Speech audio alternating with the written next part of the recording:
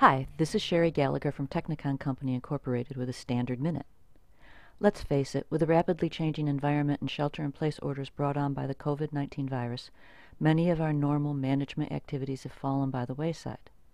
Management is focused on getting product out while protecting their workforce, if they're even open.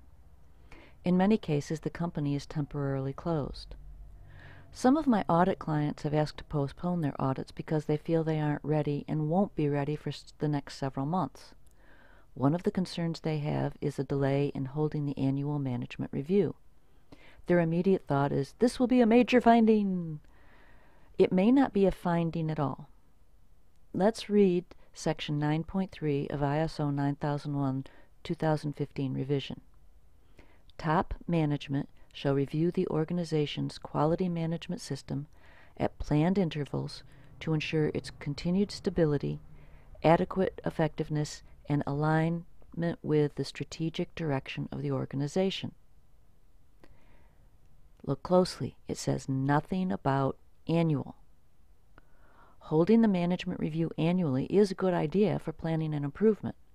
Most companies look at their strategic direction once a year. However, it is not a specified requirement in the standard.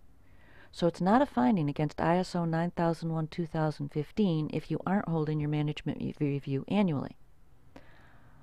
However, it can be a finding against your, your quality management system.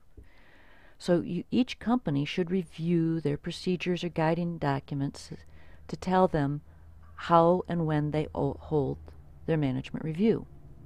If these documents say annually or at least annually, then not holding the management review is a finding for not following the QMS. In those cases, the company should hold the management review to support, to support social distancing, a valid management review can be held through web-based software for remote meetings. Now, several softwares are temporarily suspending subscription fees.